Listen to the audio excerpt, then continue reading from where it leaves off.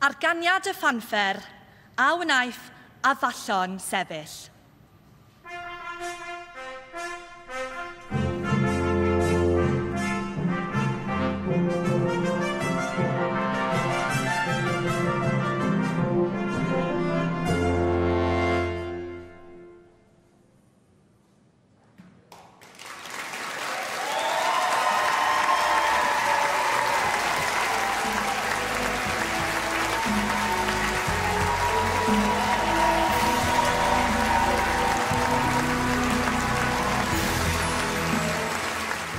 Ym mhedwaredd brif seremoni'r wythnos oes, mae yna deilyngdod oes, mae yna enillydd a'r gymeradwyaeth yn gynnes yma yn Llanelwedd. A pherchenog felly ar y gader hyfryd sydd ar lwyfan yr Eisteddfod yma yn Llanelwedd. Y gader wedi dylunio a'i chreu gan Gwilym Morgan, darn o un ynddi sy'n dyddio nôl dros fil o flynydde. Tegwen Bruce Deans a Freya Richards yn fyna nhw sydd ar fraint o gyfarch a chyrchu'r cyfarf i'r llwyfan.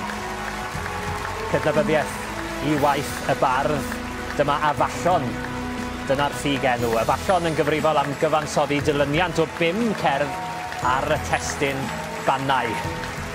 Hyfryd iawn, mae e wrth i fodd y cyfarf yn cydnabod y dorf. Griffith Antur a Mari Lisa oedd yn beirniadu ac yn ôl y ddau, dyma fardd a lwyddodd i fynegi'i hun a chreu cyffyrddiadau effeithiol mewn delweddau a chyffylebiethau. Llongyfachiadau mawr iddo yn de pwy yn union yw'r prifardd.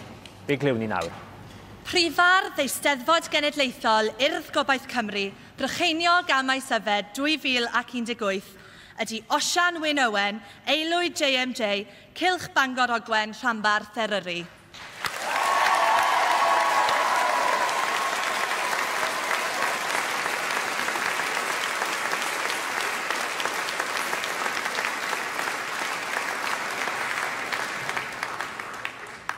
Ac nawr dwi am y hodd osian i dderbyn ei anrhydedd ac i eistedd yng ngadair yr eisteddfod.